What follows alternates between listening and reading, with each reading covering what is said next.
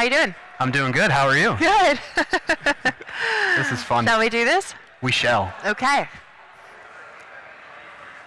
I think they're ready. Are they?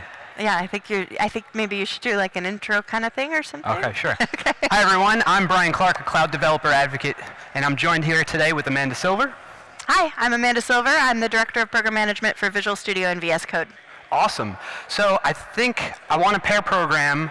Um, I'm usually a Node developer, but I'm interested and always happy to join in on checking out other languages to learn and, and provide another pair of eyes to look for little bugs and things like that. Yeah. So what I'm going to show you today actually, you know, doesn't matter what you program in. Okay. I'll show it in C Sharp, but it works for Node. I in the keynote at Build, I did it. I did it for a Node application, but it works for Python or Ruby or Go. It doesn't matter what programming language you're using. Get it outta actually here. works. Yeah.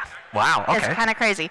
But I'll show it for you in C Sharp because that's just the app that I happen to have uh, running here sure. right now. So what is this called that we're going to be doing? This is called Visual Studio Live Share. And so the idea is basically that, that we had heard from a lot of developers out there, especially those developers who are really you know, focused on their time to market, and that's how they choose which tools to use, Right. or processes to use, or how much process to use. Um, that's we've we've heard from them that basically the collaboration mechanisms that exist for developers today, where collaboration doesn't really happen until after you make a commit, that's Right. too late for many of them. Yeah, yeah. And so we found that a lot of them were, you know, merging in the same trunk or, you know, doing all kinds of weird, wacky things so that they could have a much tighter development cycle. Like we had one one team that we had interviewed who had said that they they did not want their development team to grow beyond the size of the room that they had allocated for their team because it would be too much work to work with somebody who is in another room physically yes. right? And so the collaboration between developers is critical, especially for those teams who are really trying to f- get it out as quickly as possible.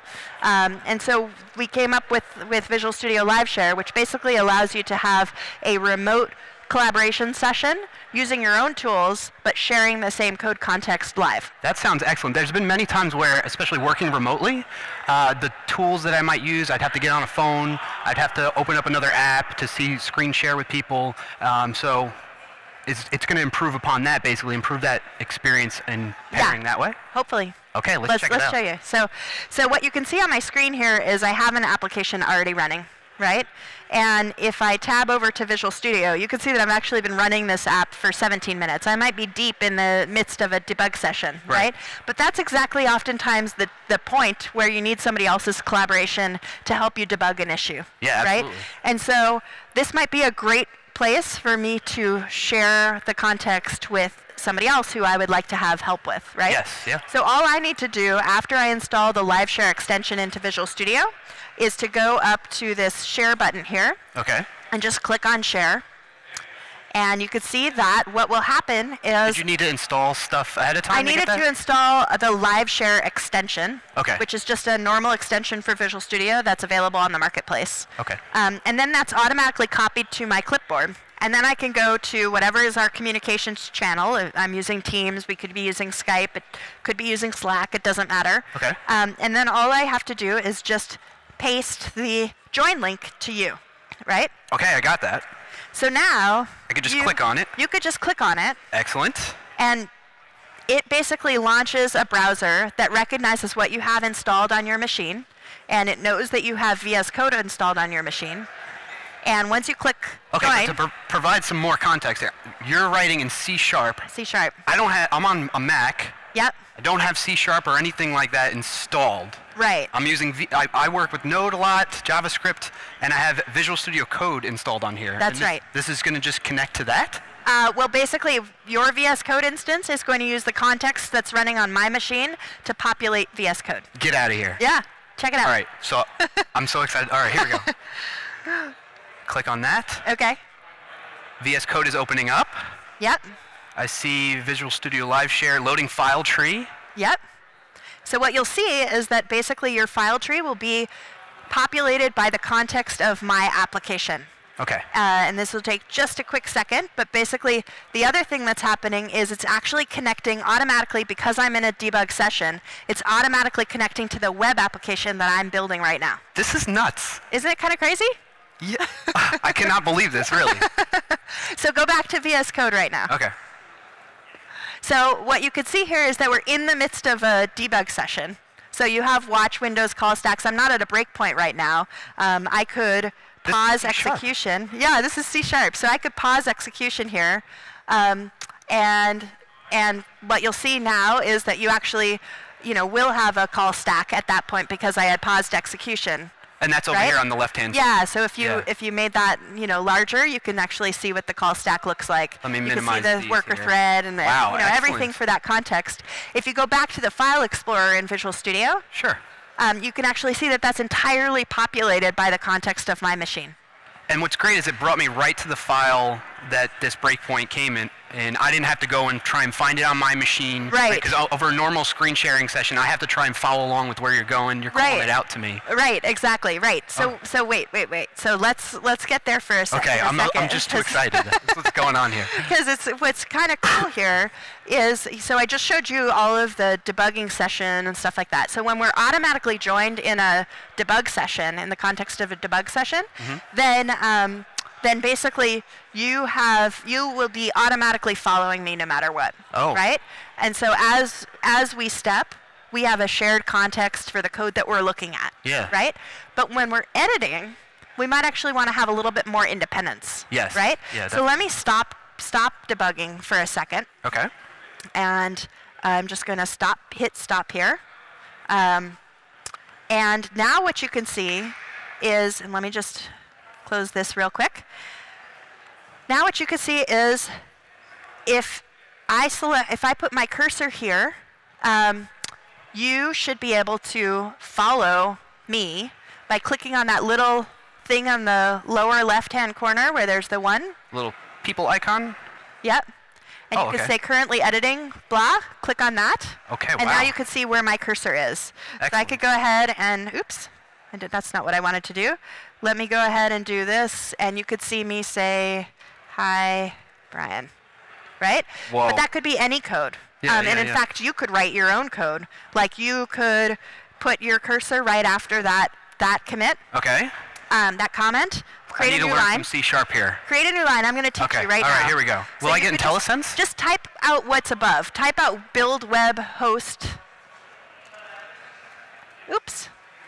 Build web host dot, uh, let's see. Dot, or that's the args now. And then do run. ARGs. Okay. There yeah, we go. just copy the line above. Dot. Got it. Did you get IntelliSense on the dot? Go back to the run. Let's try you that see again. how you're getting the, uh, Yeah, I'm noticing it's popping. yeah, you're Wow. getting the IntelliSense that's populated by my machine. Wait a minute. What's that star icon that's showing up there? Yeah, so that's kind of crazy. So, so there are two things that I was talking about at this build conference. One is Visual Studio Live Share. The other is Visual Studio IntelliCode. Now, IntelliCode is basically the idea of taking AI and making the developer environment more productive, the developer more productive, by basically empowering them with machine with AI with artificial intelligence. And so the star is basically telling you what's the most likely API call that you would make given the code context that you're currently in. So I, as a Node developer, trying to learn more about C sharp, I can just start getting my hands dirty writing C sharp and Yeah. know what's the common things Totally. for Totally, scenarios totally. I'm running into. Right. Wow. Yeah. Well, I don't want to go too deep down that path because Yeah. I know we want to show Yeah. more about this. There's more to show about VS Live Share. Yeah, so I think one of the things that you saw here is that you get the statement completion, you, you'll get squiggles. So like, let's say we make this into an error and we just make that, that line like not really complete. Okay. You'll see that there's that red squiggle after the args. And if I hover over that, I can Yeah, it see- says that an identifier is expected. So you're getting like the full compilation of, you know, a normal C-sharp compiler, even though you haven't installed anything specific to C-sharp on your machine. I, I'm so baffled by this. So, so that's it's a really great way to kind of learn a new programming language or a new API, but it's also a really great way to enlist the help of somebody, right? Like you might be a Node developer and I might be a C sharp developer, but you, we're you, I could certainly use some help from you in terms of client-side JavaScript, right? Absolutely. And so, like, this is a great way for us to collaborate on stuff, uh, even though we might not be always working on the same code, but you have expertise that I need. Wor- two worlds merging together here. it's a beautiful right? thing. Yeah. Um, the other thing that we so so we've made a, many uh, additions to this over the last few months. Some of the things that we added was the ability to view a shared server. So when we first launched, you saw that shared web application that was being hosted in my local host. Yes. It was not exposed to the general internet. Right. We were just hitting my local host So in that and case. that's normally in order to do that, I would have to like expose my computer to the internet so that other people can connect to it. or I would have to do that. Right. And so one of the ways that you can do that is by going up here and going to manage shared servers. okay. And that allows you to either add the local host that's currently running in your diagnostic session or to add a new, you know, port if I wanted to create a local host on 3000 specifically or some particular port that I know has some functionality that, that we have a dependency on. And so can you eh, let's say you have more components than just this one server or API Let's say I had a. WebSocket that I wanted to expose, like Yeah. I could do that this way as well. Wow. Yeah. That's excellent. The other thing that we've added is um, the ability to share a terminal. So if I go up here and I say shared terminal, and I'm going to do a read write in this case, which this is not just like a, a sandbox terminal. This is a real shared terminal that I'm exposing to you uh, on my machine. So I, I have free rein to your machine well, I mean, I'm giving you th- uh, that permission. so there's a level of trust involved. There is a level of trust involved here, but I'm basically me, though. You. I'm sharing the terminal, and you can see that in a second a terminal will pop up, and it pops up for me, Oh, and wow. it should also pop up for you, Yes, it right? did. Right. So now to start typing and type. Um, Can I can I type ls? Yeah. This is PowerShell. Yeah. yeah, Okay. yeah, yeah. Wow. So, uh, so we could do like a push D and then an SM star test, and now you can hit tab. You hit tab. What? Right? so that's pretty cool. Like you just basically completed No. my own command line in the in. the. I don't believe my eyes. So now we can hit enter, and you can see that we changed the folder directory. Now just type .net. No, no, no, no. Like .net, like it's a word. D-O-T. Oh. O T. Oh. N E T. Yeah. Space Space. test, Test. just like npm test or node test, Sure, and sure. hit enter. Now this is actually kicking off our tests for this application. So you just initiated it. We are both looking at the test results at the same time. And it'll finish in just a second. What? This is a fairly large application, so Wow. starting test execution. but you can see that you've basically initiated this, this command prompt uh, for us. So what I what I like about this is that you, as the driver, you have the control because I'm very security minded. I'm paranoid person. Yeah. And so something like this, it's interesting that you have control over it. In that, like maybe if I started like joking around trying to do things to, I could you kick you out at any out, point. right? I could kick you out at any point. I can decide what level of access I want to give you in terms of like, do I want to share the ser- server? Do I want to share the terminal? Yeah. Uh, you know, we're looking at more features from a security perspective down the road as well. Um, but basically, it's like you give out the the link to the share session to who you you want to collaborate with you on that code base. That's excellent. And so that that link is always going to be unique to you, so no one can really like It's- jump into it. It's unique to your session. So Okay. basically, it's unique to the the computer plus the folder. Excellent. Wow. Yeah. I can see myself using this quite often. Yeah, it's actually, I think it's a great way to work with somebody to learn a new API or to debug an issue. One of the things that we've heard from a lot of folks is that they have remote people on their team, and this makes it a lot easier to collaborate with remote folks. Yeah. We've also heard from uh, dev- devs that have developers with different accessibility needs on their team that, uh, you know, there are folks who use Magnifier, and it can be really hard to do a screen sharing session with somebody who uses Magnifier all the time because i you're just not used to it, or like voice narration.